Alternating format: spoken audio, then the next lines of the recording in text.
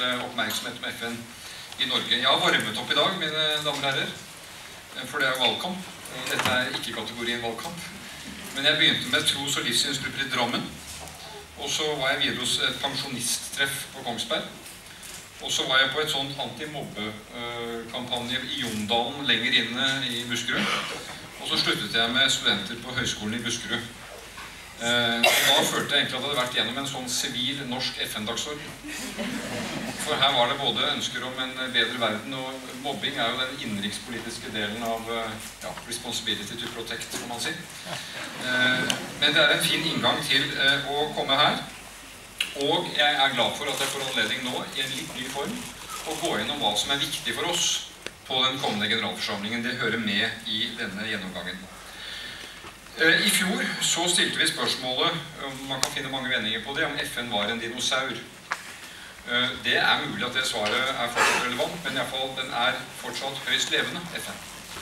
Og jeg tenker at vi ofte gjør feil når vi snakker om FNs styrker og svakheter, at vi ser FN gjennom de linsene vi har adgang til. Og jeg tenker ofte på, og det tror eh, kanskje Elisabeth også ser det når hun er ute og reiser, hva FN gjør når kameraene er skrudd av og ikke har oppmerksomhet så er det mange mange, mange tusen mennesker i verden som er avhengig av at det er noe med FN der ute som faktisk holder stand. Men på den store arenaen har det skjedd viktige ting som FN bør kunne ta til seg. Det skjedde en vellykket folkeavstemning med FNs hjelp i Sudan, som eh, 9.7 førte til at FN fikk sitt 193. medlemsland. Og vår egen Hilde Frafjord Jonsson nå er FNs representant der nede i sør. Eh, vi hadde et ganske dramatisk Eh, kapittel i Elfenbenskysten med et dramatisk FN-mandat, og FN egentlig i kamp eh, rundt eh, det maktspillet som var etter valget i Elfenbenskysten. Vi har historiske resolusjoner i Sikkerhetsrådet rundt den arabiske våren og Libya, som vi sikkert kommer tilbake til.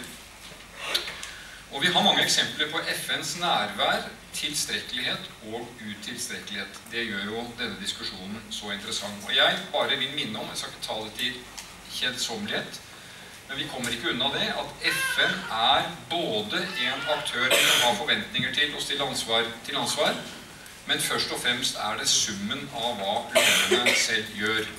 Det er noen 193 deler som avgjør hva FN kan få til den politiske viljen, mobiliseringskraften, finansieringen, FN-soldatene, de vi sender i felt. Så vil jeg også si at det har vært et tungt norsk FN-år med tap av to modige kvinner i FNs tjeneste under to veldig ulike omstendigheter. Siri Skåre uh, i Masari Sharif i Afghanistan. Brutalt drept i en væpnet angrep på FN og eh, Ingrid Midtgaard, nå juniorekspert, Abuja, Nigeria. Modig, ung, dyktig ansatt i Justisdepartementet. Og det illustrerer jo egentlig for oss hvilken verden vi lever i, at hun altså kom fra en avdeling i Justisdepartementet som mistet to 22. juli. Så vi lyser fred over deres minne og er takknemlige for det de gjorde, både for FN eh, og for oss. Kort om prioriteringene våre til det vi nå går inn i i slutten av måneden. Det er som Terje Svabø sier, det er bred oppslutning om FN i Norge. Jeg opplever ikke at jeg har problemer med de prioriteringene jeg nå vil liste eh, på Stortinget. Men vi kan ikke ta FN for gitt. Og selv i norsk debatt så er det ulike syn. Som eh, at eh, man kan stille spørsmål, som en av partilederne gjør, hva har egentlig FN gjort for verdensfreden? Det er en provoserende tittel, men den er grei nok, og vi kan diskutere den. Høynivåuken, eh, sett slik vi ser det La meg bare si innledningsvis, Vi pleier ofte å ha en publikasjon som går gjennom eh, relevante FN-saker. Det vi legger fram til dere i dag, er en ganske spesielt dokument.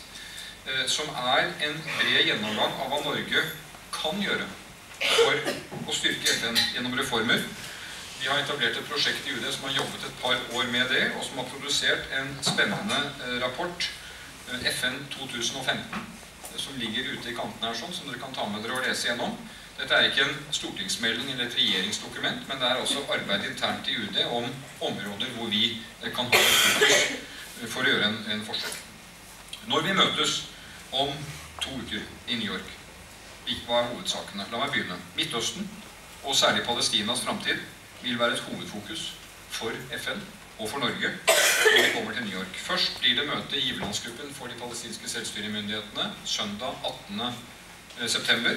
Et viktig møte for å konsolidere de palestinske institusjonene i en økonomisk vanskelig tid. Hvor palestinerne blir mindre og mindre avhengig av bistandspenger.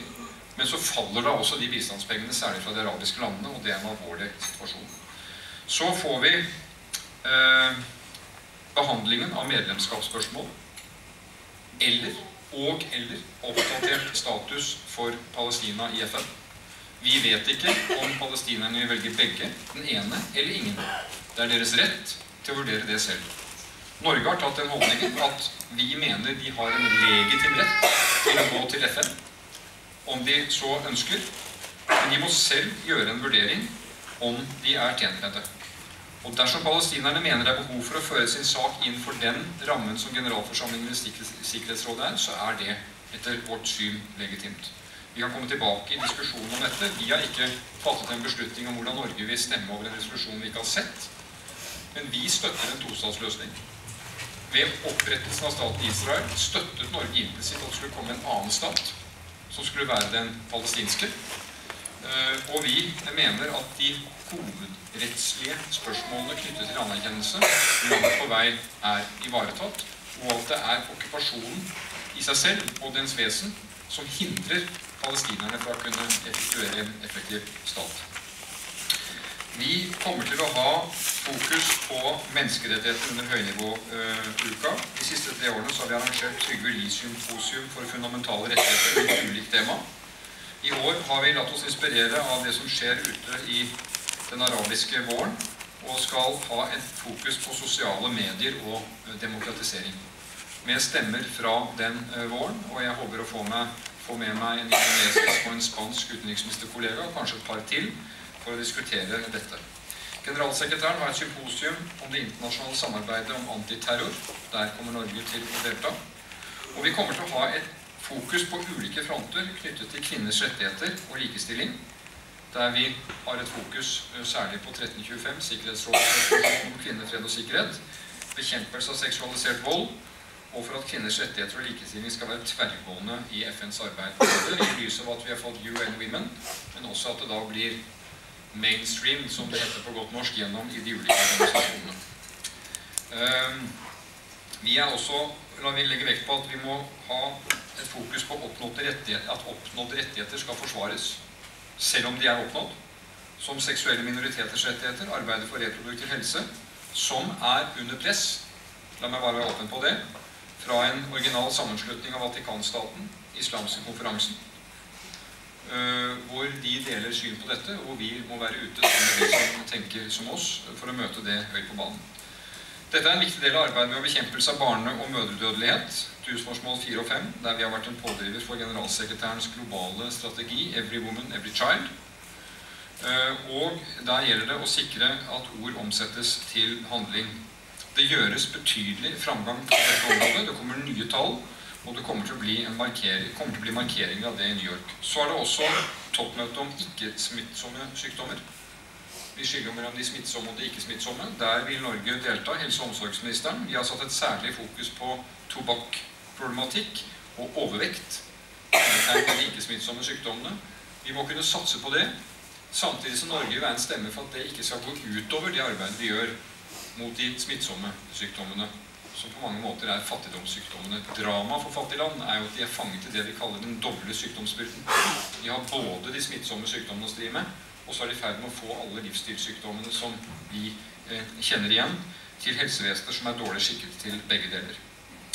Eh, så vil jeg også si at vi kommer til å få en gryende debatt om tusenårsmålene mot fattigdom etter 2015. Hva da? Nå har vi 2011. Eh, det vil si at vi ser horisonten av 2015. Eh, og det var jo på slutten av 90-tallet at paradigmet for fattigdomsmålene ble debattert og vedtatt. Halvere fattigdom innen 2015. Fått til mye. En del ikke har fått til. Lært av metoder og den politiske situasjonen i verden har forandret seg. Så debatten om etter 2015 den kommer til å være formet av den verden vi nå lever i. Den ser annerledes ut. Statsministeren er delt, invitert til å delta på et dialogmøte om klima.